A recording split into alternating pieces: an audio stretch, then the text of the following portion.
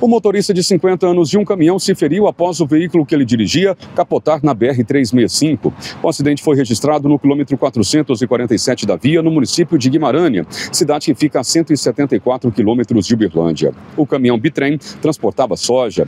De acordo com informações da Polícia Rodoviária Federal, a PRF, o motorista do veículo teria perdido o controle de direção e o caminhão saiu da pista. O bitrem parou em uma área de vegetação às margens da rodovia.